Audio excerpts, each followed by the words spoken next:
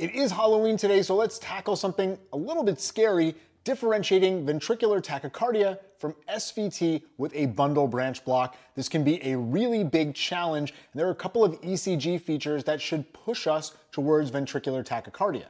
The first is that you'll often see an extreme right axis deviation in ventricular tachycardia. That means QRS down in one and in AVF.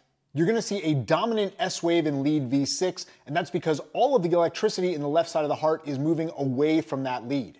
If you look at the RS portion of the QRS, it should be greater than 100 milliseconds in the precordial leads, and overall your QRS complex should be greater than 160 milliseconds. Now you can see a QRS greater than 160 milliseconds in a right bundle branch block as well, so to differentiate VTach from just having a right bundle branch block, you're gonna look at lead V1 and you should either see no RSR prime morphology or if there is an RSR prime, the left-sided rabbit ear is gonna be larger than the right-sided rabbit ear in ventricular tachycardia. All of these ECG changes are good to know from an academic standpoint, but in the clinical scenario, if you see a patient with a wide, regular tachycardia, you're gonna assume it's ventricular tachycardia every time and you're gonna treat it as ventricular tachycardia every time.